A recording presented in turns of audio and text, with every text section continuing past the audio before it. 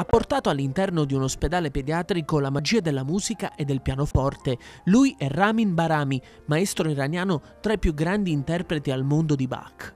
Si è seduto al suo pianoforte, collocato all'interno del Meyer, e ha suonato per i piccoli pazienti del pediatrico fiorentino con una lezione concerto pensata proprio per loro e che ha lasciato sia grandi che piccini a bocca aperta.